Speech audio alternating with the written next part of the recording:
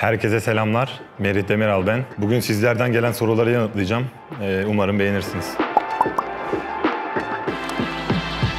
Özellikle takip ettiğim bir dizi var mı? Drive to Survive'ı izliyorum. Beğenerek. Onun haricinde çok takip etmiyorum dizi. Gün içinde mutlaka yaptığın üç şey nedir? Mutlaka yaptığım üç şey antrenman yapmak, deodorant kullanmak, Blade her gün kullanıyorum, ee, duş almak. Ronaldo ile canlı yayınların çok iyiydi. Onunla komik bir anım var mı? Canlı yayınlarımız evet çok iyiydi. O komik bir anım yani her gün anımız var onunla birlikte ama komik bir anımız ne olabilir? O o günkü canlı yayın olabilir işte. Hiç beklemediğim bir anda böyle bir şey söylemesi beni şok etmişti yani. Sana YouTuber'lara sorulan sorulardan sormak isterim. Antrenman çantanın olmazsa olmazları nelerdir? Kramponum, deodorantım, blade ve tekmeliğim.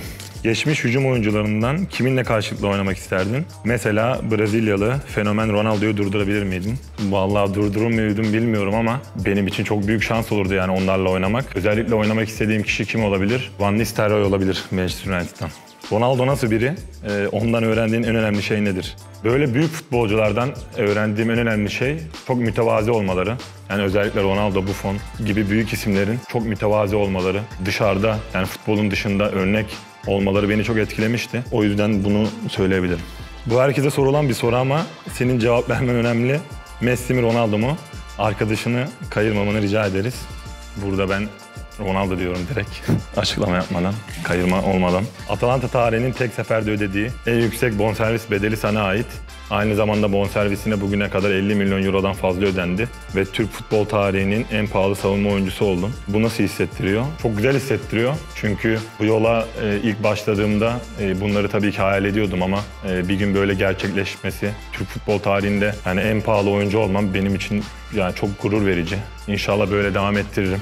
Ee, bu benim en büyük hayallerimden bir tanesiydi. En son ne zaman halı saha yaptım? Bunu kulüptekiler izlemesin de e, iki ay önce falan arkadaşlarımızla birlikte.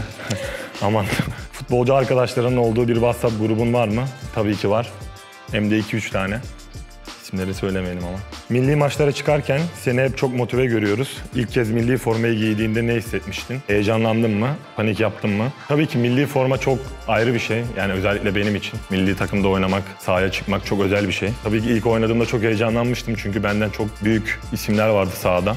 Ben en küçüktüm o zaman. Ama gün geçtikçe alışıyorum. Her formayı giydiğimde de, milli formayı giydiğimde de sanki ilk gün giyiyormuş gibi hissediyorum. Bence bu çok önemli. İnşallah bunu hiç kaybetmem. Futbolda idol sayılabilecek ve tarihe geçmiş birçok savunma, savunma oyuncusuyla aynı takımda bulundun. Peki senin bir savunma oyuncusu olarak idolün kim? Benim idolüm, iki tane idolüm vardı. Bir tanesi Kellini. Ee, onunla birlikte oynama şansını elde ettim. Çok çok e, güzeldi yani benim için. İkincisi de Vidic, Manchester United. Futbolu takip edenler e, çok iyi bilir. Özellikle çalışmak istediğin bir hoca var mı? Mesela Pep stil olarak sana uyuyor mu? Özellikle çalışmak istediğim hoca var tabii ki. Ama şimdi ismini burada söylemeyeyim. Pep'in tarzı tabii ki bana uyuyor mu? Evet uyabilir. Ama zaman ne gösterir tabii bilemiyoruz transfer detayı vermeyeyim dedim arada. Soyunma odasına girince mutlaka yaptığım bir şey var mı? Formanı öpmek, müzik dinlemek ya da bir totem gibi. Tabii ki totemlerim var soyunma odasına girdiğimde. Ne yapıyorum? Mesela formamı düzeltiyorum. Ee, mesela ön tarafının bakmasını sevmem. Her zaman arka tarafını çeviriyorum. Onun haricinde kramponlarımı düzeltiyorum. Yani her zaman sağ ayak önde olmasını seviyorum mesela. Küçüklükten beri. Onun haricinde bir de, bir de deodorantımı kullanıyorum. Blade. Son dönemde neredeyse tüm futbolcular tarz sahibi ve çok havalı. Sen bu konuda kendini nasıl buluyorsun? Mesela kişisel bakımına ne kadar dikkat ediyorsun? Ee, tabii ki dikkat ediyorum çok çünkü her gün antrenman yapıyoruz neredeyse. Zor oluyor. Ee, tabii çok terliyoruz. Kendimize dikkat etmemiz lazım. Benim tarzımın olduğunu düşünüyorum. Yani dikkat ediyorum. Hep böyle bir şeyler öğrenmeye çalışıyorum. Diğer insanlardan bu işlerle ilgili. Kişisel bakıma zaten çok dikkat ediyorum. En çok dikkat ettiğim şeylerden biri hem deodorantım hem. Bize karizmatik olmanın formülünü anlatır mısın? Ee... buna, buna cevap vereyim mi? Vermeyeyim değil mi? Ya, karizmatik olmanın formülü ya bence doğuştan gelen bir şey. Ben de ben de var mı yok mu bilmiyorum ama karizmatik olmak yani ben çok dikkat ediyorum tabii ki böyle şeylere. Sağ içinde çok hırslısın. Sağ dışında da sakin misin? Trafikte mesela trafikte gaza gelir misin? Evet sağ dışında biraz sakinim bence. Trafikte falan çok sakinimdir. Ama sağ içinde bir tık değişiyorum. Bunu zaten herkes söylüyor.